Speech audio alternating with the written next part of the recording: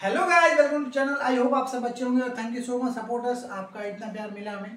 It's very important for us और आज हम डिस्कस करेंगे ब्रह्मांड का एक ऐसा टॉपिक मे भी छोटा हो सकता है, लेकिन काफ़ी डिस कॉन्सेप्चुअल है तो आपके लिए इंपॉर्टेंट रहेगा.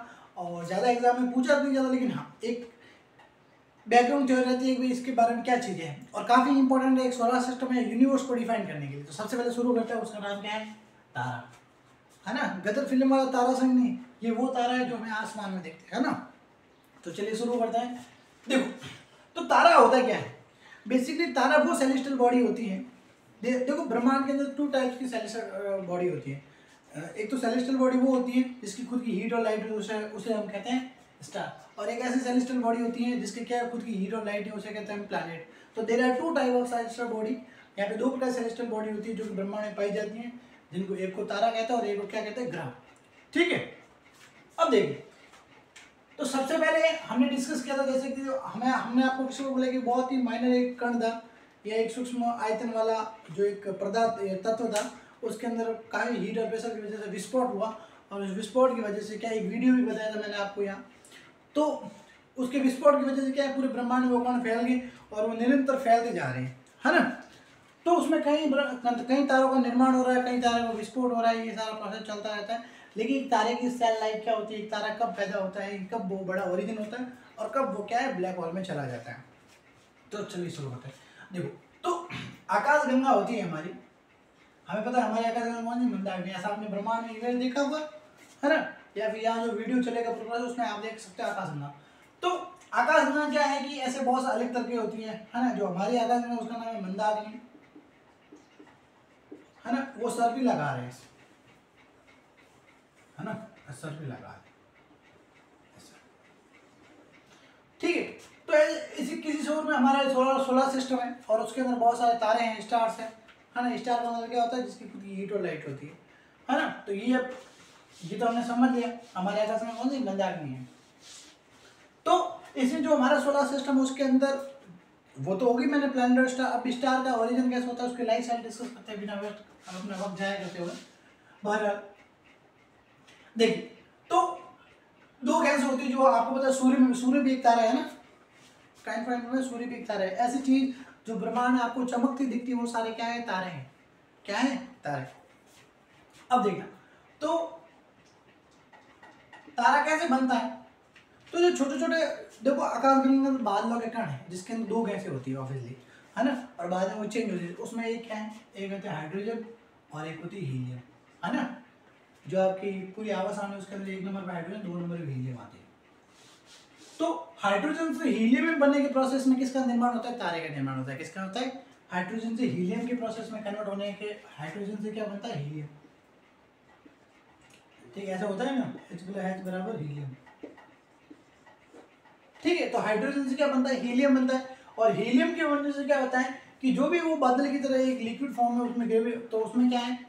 घनत्व बढ़ जाएगा। क्या होगा? डेंसिटी या घनत्व बढ़ जाएगा। तो जैसे ही घनत्व बढ़ेगा तो घनत्व बढ़ेगा तो क्या होगा कि उसके अंदर ग्रेविटेशन फोर्स की वजह से क्या होगा? उसका वेट ऑब्वियसली ज़्यादा होगा थोड़ा, और उसके अंदर संकुचन होगा, चीज़ें और भी सिमट जाएगी। और जैसे जैसे वो जो धूल जैसे जो हाइड्रोजन हीलियम में विस्फोट होने की जो कण एक जो चिमट जाएगी तो वो एक क्या है? एक क्या है? प्री मेच्योर तारे का एक, जिसे हम नर्सरी तारा कहते हैं, है ना? स्टिल स्टिल नर्सरी तारा कहते हैं, उसका एक निर्माण हो जाता है। ठीक है, उसमें और संकुचन गुरुत्वाकर्ष, गुरुत्वाकर्षण की फोर्स से क्या होता है कि उसका स्वरूप आता है, क्या होता है? स्वरूप बनता है। उस स्वरूप को क्या कहते हैं? आदि तारा क्या कहते हैं? आदि तारा क्या कहते हैं? मैं एक टेबल बनाऊँगा और इसमें पूरा प्रोसेस देखा तो आदि तारा आदि तारे के बाद जैसे ही डेंस और घनत्व बढ़ता है और एक पूरा पूर्ण तारा बन जाता है, ये प्रक्रिया चलती रहती है और एक पीक लेवल पे आ जाती है, उससे क्या एक पूर्ण तारा बन जाता है। क्या हो जाता है? इससे कहते हैं पूर्ण तारा। क्या कहते हैं? पूर्ण तारा। आदि तारे के बाद की जो स्टेज उसे क्या कहते हैं पूर्ण तारा क्या कहते हैं पूर्ण तारा ये सब प्रोसेस उसमें, इसमें जैसे जैसे डेंसिटी बढ़ेगी तो घनत्व बढ़ेगा, उसके प्रोसेस से ये, उसके अंदर हीट और प्रेशर बढ़ता रहेगा और उसकी वजह से क्या है, वो और चमकीला होता जाएगा। तो ये तो हमने प्रोसेस समझ लिया, अब इसके आगे का क्या प्रोसेस है, यहाँ पे आपको एनिमेशन में दिख जाएगा। तो ये प्रोसेस तो हमने पूर्ण तारा तक समझ लिया, उसके आगे क्या? उससे पहले इंडिया के एक बहुत बड़े वैज्ञानिक है, चंद्रशेखर, है ना, उन्हीं के नाम पे एक थ्योरम बताएगी जिसको हम बताएँगे, जिसको हम देखेंगे। ठीक है? अब देखिए, मैं यहाँ टेबल बना दूँगा लास्ट में तो डोंट वरी ऐसा कुछ नहीं ना बस कॉन्सेप्ट समझना ज़रूरी है। तो बेसिकली हाइड्रोजन से हीलियम बनने और ग्रेविटेशन फोर्स की वजह डेंसिटी बनने का जो प्रोसेस है, उससे उससे किसका फॉर्मेशन होता है? तारे का फॉर्मेशन होता है। किसका दोस्तों तारे का फॉर्मेशन ठीक है? अब देखो, आदि, हमने क्या पूर्ण तारा तो बन गया। अब उसके बाद क्या होता है? अब उसके बाद क्या है? कि आपको पता हाइड्रोजन से हीलियम बनने का प्रोसेस चल रहा है। लेकिन एक समय बाद क्या उसमें रुक जाता है? क्या होता है? जैसे मान लो सारा हाइड्रोजन हीलियम बन गया, अब उसके बाद क्या होगा? तो इसमें क्या है कि जो इसके आउटर रेंज है, वहाँ पे क्या होता है सबसे पहले? हाइड्रोजन से हीलियम बनने की जो प्रोसेस है, वो रुक जाता है। क्या होता है? रुक जाता है। तो रुक जाता है। तो उसमें क्या है? जो इसमें जो विकिरण विस्फोट होता है, उसके जो रिफ्लेक्शन होता है, वो क्या हो जाता है? कम हो जाता है। क्या होता है? रिफ्लेक्शन क्या हो जाता है? कम हो जाता है। तो रिफ्लेक्शन कम होगा तो क्या होगा? रिफ्लेक्शन कम होगा तो क्या? और भी वो डेंसिटी बढ़ेगी। है ना? तो ये रिफ्लेक्शन कम होता है, ये चीज़ रुकने उसे हम क्या कहते हैं? उसे कहते हैं लाल दानों क्या कहते हैं? इंग्लिश में कहते हैं रेड जाइंट है ना? रेड जाइंट स्टेज कहते हैं, लाल दानव कहते हैं। तो लाल दानव में क्या होता है कि वो उसमें ये प्रोसेस रुक जाता है और उसमें डेंसिटी बढ़ जाता है। डेंसिटी बढ़ने के बाद क्या होता है कि जो आपका हीलियम है हाइड्रोजन प्लस हाइड्रोजन हीलियम है वो किसमें? कम होगा? कार्बन में। किसमें होगा? कार्बन और कार्बन किसमें चेंज हो जाएगा लो, लोहा में। किसमें हो जाएगा? लोहा में। अब देखो हाइड्रोजन में कार्बन बारी कार्बन से लोहा बारी आयरन बारी।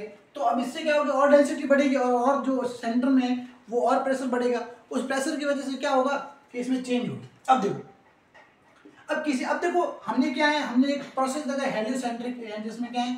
पूरे ब्रह्मांड के जो हमारा सोलर सिस्टम है उसमें किसको सेंटर रखा सूर्य को। किसको रखा है? सूर्य को। तो हेलियोसेंट्रिक में क्या होता है कि भी सूर्य को तो हम बीच में सेंट्रलाइज करते हैं उसको उसको समझ के पूरे हम सारी कैलकुलेशन करते हैं। तो हेलियोस्टिक तो हो गया। अब क्या है कि जो चंद्रशेखर, हमारे जो महान वैज्ञानिक है चंद्रशेखर, उनके नाम पे एक चीज़ रखी गई, उसका नाम है चंद्रशेखर रेखा। क्या रखा गया है? चंद्रशेखर रेखा। ठीक है? अब देखिए। अब यदि अब देखो, यदि जो तारा है, उस तारे का जो जो सूर्य का जो द्रव्यमान है, क्या है? द्रव्यमान। अगर वो द्रव्यमान सूर्य से, देखो, हम कंपेयर किससे कर रहे हैं? सन से। किससे कर रहे हैं? अगर मैं यहाँ बना लेता हूँ पोर्टफोलियो पोर्टफोलियो क्या कहते हैं डायग्राम तो जैसे मान लो, ये है अपना ये हमारा तारा है। क्या है? तारा। और ये हमारा क्या है? सन है। ये है स्टार जो बन रहा है, और वो है सन ठीक है? अब देखो, अगर इसका ये नया तारा है जो एक आदि ये पूर्ण तारा है, उसमें क्या है? अगर इसका द्रव्यमान क्या है? अगर इसका द्रव्यमान जो हमारी, देखो, अब हम कंपेयर किससे करते सूर्य के द्रव्यमान से। किससे कर रहे हैं? सूर्य के द्रव्यमान से। है ना? अब इसमें देखो, जैसे ये क्या है एक चंद्रशेखर रेखा है। क्या है? चंद्रशेखर रेखा मतलब क्या होता है कि जो ये तारा और ये सन है, इसका जो द्रव्यमान दोनों का यदि इसका द्रव्यमान कम है तो इसे हम कहेंगे लाल दानव क्या कहेंगे? या फिर रेड जॉइंट क्या कहेंगे? रेड जॉइंट ठीक है? रेड जॉइंट यदि इनका, इसका इन दोनों का द्रव्यमान बढ़ा तो उसे कहेंगे श्वेत वामन। क्या कहेंगे? श्वेत वामन, है ना? वामन या दानव में आपको श्वेत वामन। क्या कहेंगे? श्वेत वामन सॉरी श्वेत वामन। है ना? वाइट जाइंट कहेंगे। ये एक स्टेज है ना? थोड़ा क्रिटिकल हो बाकी जाइंट अगर मान लो इसका द्रव्यमान क्या है? इससे अधिक है। इसमें क्या है? कम है। इसमें बराबर है। और यहाँ अगर इनका द्रव्यमान है किसका? इस का द्रव्यमान ज़्यादा है। तो ज़्यादा ऑफ़िस डेंसिटी बढ़ेगी। और उसका क्या होगा? घनत्व तो बढ़ेगा तो क्या होगा? वो भारी होगा। तो यदि इस द्र, इसका द्रव्यमान ज़्यादा है क्या है? ठीक है तो ये क्या हो जाएगा? ये आपका हो जाएगा इसका अब क्या है? ये अब खत्म होने वाला है। क्या है? द्रव्यमान और अधिक होगा। जैसे इसका द्रव्यमान और अधिक हो तो क्या होगा? इसको इसको इसको क्या कहेंगे अपन? इसको कहेंगे काला दाना काला या ब्लैक जॉइंट क्या कहेंगे ब्लैक जॉइंट तो ब्लैक जॉइंट अब इसके बाद क्या है? अब क्या है? ये क्या है? इसके, इसका एक स्टार है, वो तारा है, इसके क्या है? पूरी लाइफ स्टाइल खत्म होने वाली है। और उसके बाद क्या होता है? इसके अंदर एक ज़्यादा और प्रेशर और ग्रेविटेशन फोर्स के उसका जैसे वेट बढ़ेगा, उसकी वेट बढ़ेगी, क्या होगा? उसके अंदर और भी प्रोसेस जो विस्फोट प्रक्रिया वो ज़्यादा होगी। और इंटरनल एक बहुत बड़ा विस्फोट तो अभी जैसे विस्फोट हुआ तो मैं, हमने क्या है कि पूरे सबसे बड़ा वेस है द्रव्यमान जो नया तारा बन रहा है उसका और जो सूर्य के द्रव्यमान है, जो हेलियोसेट्रिक प्रोसेस है, उन दोनों में कंपैरिजन करेंगे, उसके बिया पे हम क्या है, जो द्रव्यमान या जो लाल दानव है, या फिर काला काला वामन है, या फिर श्वेत वामन है, उसके ऊपर डिस्क्राइब करेंगे। और उसके बाद क्या है, जैसे इंटरनली क्या है डेंसिटी गर्म तो बढ़ेगा और उसके अंदर प्रेशर प्रेशर ज़्यादा हो ग्रेविटेशन फोर्स की वजह से, और उससे क्या हो जाएगा, एक बहुत बड़ा विस्फोट हो जाएगा, और क्या हो जाएगा, वो जो तारा है, वो क्या खत्म हो जाएगा, और वो किसमें चला जाएगा ब्लैक होल में। किसमें चला जाएगा? ब्लैक होल में। ब्लैक होल में चला जाएगा। तो ये पूरा प्रोसेस जैसे जैसे मैं आपको बता रहा हूँ, वैसे वैसे यहाँ वीडियोज़ में चल रहा होगा। If you understand well that is fine अगर नहीं समझते हो तो यहाँ आप देख सकते हो, कौन सी भी चीज़ें सही होनी चाहिए, रटना नहीं है इसमें। रटने की चीज़ें होंगी जब मैं आपको बोल दूँगा क्लियरली जहाँ अपन काफ़ी डाइवर्ट तरीके से पढ़ेंगे, लेकिन हाँ इसमें इनर इतना ही है कि आप इन चीज़ों को समझें। तो आई होप आपको ये वीडियो अच्छा लगा होगा। तो अगर आप नए हो तो please subscribe channel like our videos अगर आप पुराने हो तो शेयर विथ योर फ्रेंड्स जिसको नीड है। तो थैंक यू सो मच मिलते हैं अगले वीडियो में।